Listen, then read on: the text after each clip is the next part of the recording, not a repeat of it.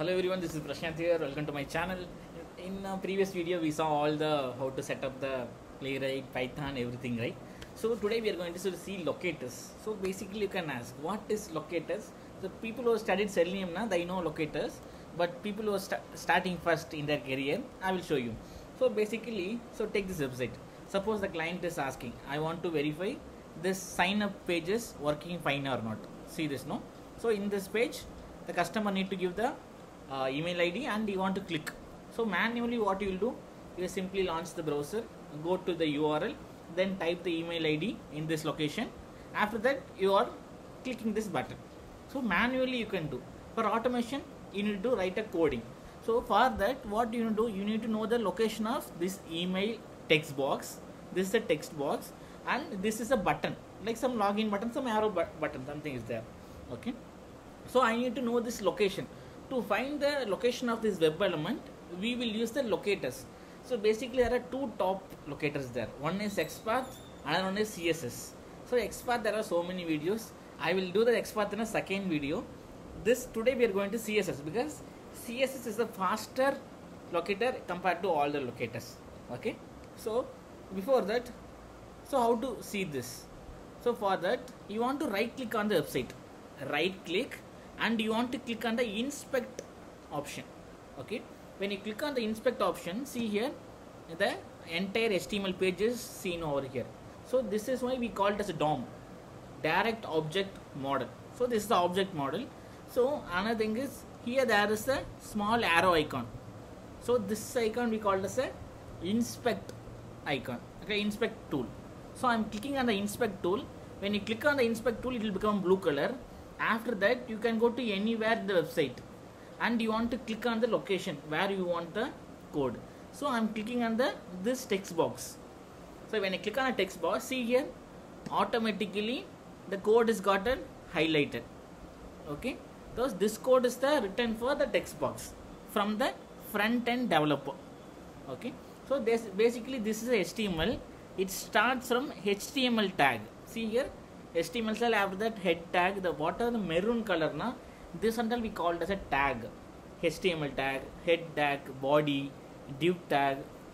Here the input mostly the text box and all comes under input tag. Okay, this is the in tag and ID, type, placeholder and ng module na this and all we call as attributes okay first is the tag next one is attributes two things you want to know so basically you don't need to know html because you are not a front end developer. You don't need to worry at all.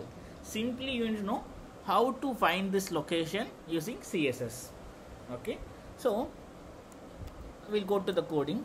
So this is the previous day we done the coding like how to launch the uh, uh, launch the browser after that how to create a new page how to enter the url this and all we saw yesterday's class like previous first video. This is second video. Okay so i'm going to create a new python file. See this? Right click on the project go to new python file. This is i'm going to see the locator 1 locators 1 so when I click on this file is created so I'm going to type like import playwright dot sync API from so this is the from. Even I forgotten. So first is from. Okay. From this. So i'm also studying with you guys yeah as everyone knows. So this is import and after that i want to call the sync playwright okay. After that we need to start with the with because this is the function. So with sync playwright as a p. So i'm mentioning you can give any name. Like you can give play. So any you can give first thing is we need to create a browser. So for that we are browser. What browser? Will start from play dot. We need a chrome. Okay. We need to launch. So yesterday class i taught you we need to give a headless equal to false. Otherwise it's a error because it will run on backend. So we need to make headless into false. After that creating a browser. Right now i want to create a page from the browser from the browser i need to create a new page. So i'm maximizing this page this, this file. So it will be easy for you to see. Okay right now everyone able to see right? Clearly. So after that caging now i need to go to the url so url i need to copy from this here. So i will give this url in the description. You guys don't need to worry. In the description i give the url okay? So and this is the ash symbol is we used for comment okay? Ash. This is the symbol used to write. Comment is like normal sentence to know what you're writing inside. Like suppose i'm writing this code tomorrow some my colleague is seeing na, he don't know what is this function. So to make this we'll give a comments okay? We need to use ash. Okay, ash is for python basically. So um, there are three ways. One is id class and using attribute. For what? For css selector to implement a css selector we we have three different ways. One is id class and attribute. To indicate id we need to use a hash. for class we need to use a dot operator.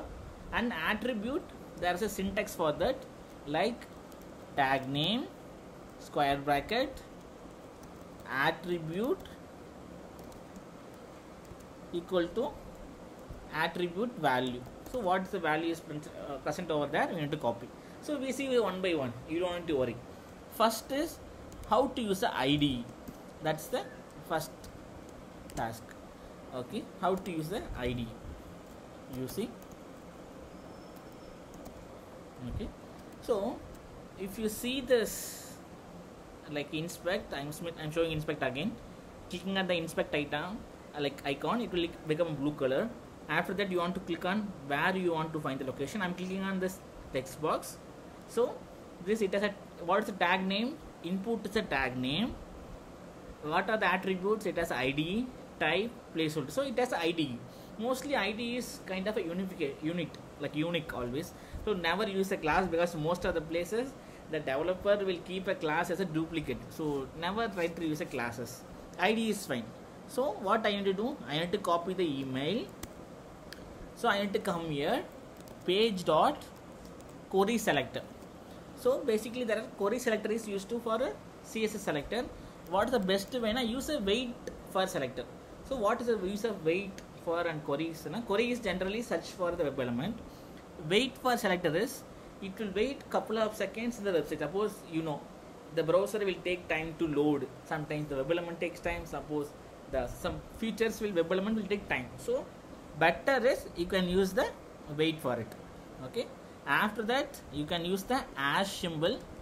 Why we using ash symbol? Just now i taught you. To indicate it's a ide we can use a ash okay? So right now i'm going to store in a variable.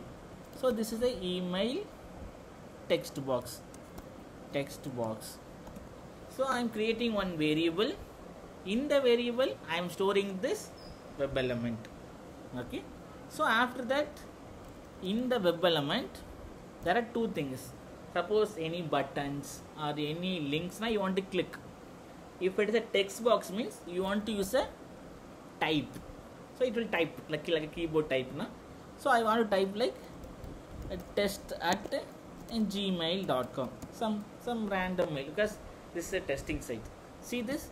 First I create I, I find it the web element and I store it in the variable using this variable I am typing the some keys okay? Cool then. So how to run it? Right click on the file. Uh, run as so before that I will use some wait because you know right? Mine's close soon. Wait. Wait for timeout I will I'm saying like for 3 seconds. Like 3000 means 3 seconds. So 3000 millisecond means 3 seconds i'm running this file. So it will launch the browser. See this? test at gmail.com it's typed now so that is a cool thing right? So and you see how fast it is.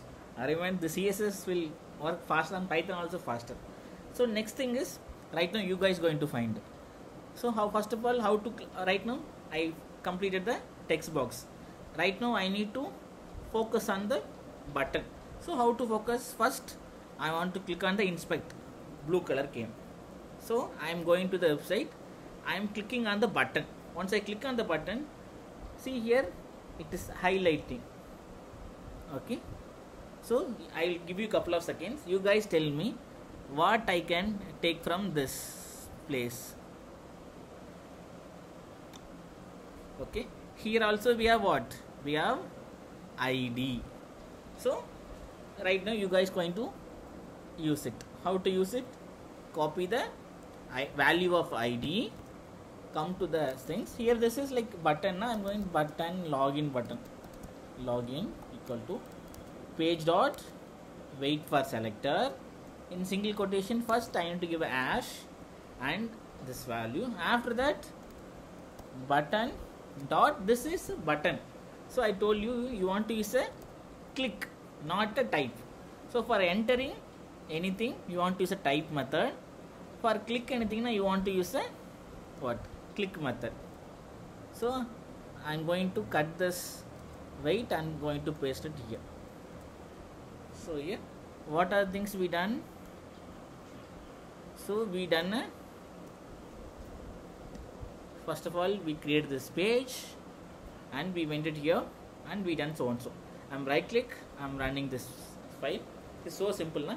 That is how it's so very very simple actually so see this? It's clicked the login button. It went to registration page. How cool na? That is so. So right now we saw using a IDE next one is going to attribute because class you don't guys know you don't study. Just know you, you want to use a dot operator to indicate a class but don't need to study much. Okay? So i'm going to create a i'm going to next website. So this website also i will give you the url in the description you guys don't worry okay? So in this page you want to write username password and login button. Three things you want to do okay? So that i'm going to use a attribute function okay? So first you want to do right click inspect that is the first task. After that you want to click on the inspect icon. It will become a blue color and go to uh, not this page sorry for it okay? Right click inspect the page click on the inspect icon and you want to click on the username. See this? I click on the username. So this is the page. So if we see here we don't have a it, it has a class but it don't have ID right? So that is the problem obviously. So because we don't have any because as I told class value always a duplicate. Because some other element are the same. So the, that's why we need to go say either name or a placeholder. Because obviously it feels like the unique. Why? Because username is the value. So obviously in the entire page here only it has the username. That too is called input tag. What tag? Input tag and name. Okay? So i'm going to create a username equal to page dot wait for selector. And basically what I will do now I will copy the syntax here. You guys can guide me okay I am pasting here. Okay first thing what we need to give a single quotation. After that I want to give the tag name. See here tag name. What is the tag name here? It is input. So I'm giving input. After that square bracket. Yes square bracket. What is the attribute name? Attribute name is kind of name. So i'm copying the name equal to sorry i didn't copy properly. Name equal to in double quotation i want to paste the value of what is the value of name? Username. I am pasting here. And close the square bracket. That's it. See here tag name square bracket attribute name and value. Okay so what i'm going to do now i'm going to comment this section. Entirely comment it won't run. And i want to change the url so i'm copying this url and i'm pasting it is in this place. So right now the website will go to this page and so the page after that what I need to do username what is the function type na type method in single quote so in this page here at the top it give a username password. So you guys can use this is a valid username and valid password. Okay? So I'm passing admin. Okay? So i'm going a little faster here. And as well as password page dot wait for selector single single quote. How to find the inspector pa- password? First click on the inspect icon. Click on the password. See this it's got highlighted. See here? It's got highlighted. Okay. So as usual so I, what the first thing is in single quote I need to put the tag name because input is a tag name and I am going to use the type here differently. Okay. Type is because you can use any attribute. Okay. Equal to in double quote I need to use the password. After that password dot type. I need to type the password. What is the password? Admin123 this is the password. After that this is login button. Login button equal to page dot. Wait for the selector in single quote. First of all I need to inspect the login button. See this? A type is submit. So okay. What's the tag name? Tag name is see it clearly here. Tag name is button like button na? so I want to use the button here. Button square bracket type equal to in double quotation I need to paste the what is the type? Submit. Okay? Cool right? So what I want to do here I want to click the button. So that's it. So clearly you saw right first we move to the URL then what I will do now I will fix the timing and keep it last. So first thing is it will type the admin go to the password and it will type the click on the login button. How cool now so you will keep on practicing right? It will become easy because i'm just even this weekend i didn't study.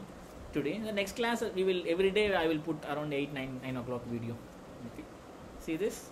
It's went to login successfully. It's went to the home page right so this is how we need to do that. Okay. So i will give both the urls in the description. You guys can use it. If you faced any issue please put me in the comment. Uh, next class i will try to see the comments and i will uh, we will need to we'll try together. Okay. Okay man. Thanks for joining in. If you like the video please like and subscribe. Thanks for watching